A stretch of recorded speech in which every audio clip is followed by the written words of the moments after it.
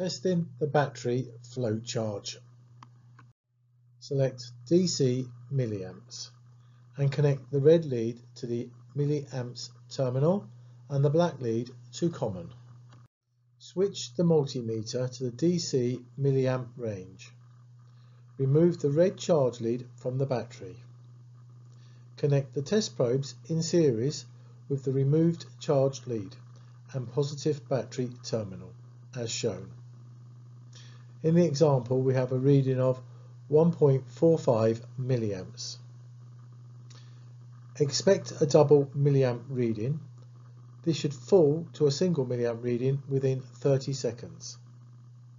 If it stays constantly high or no milliamp reading at all, replace the battery immediately.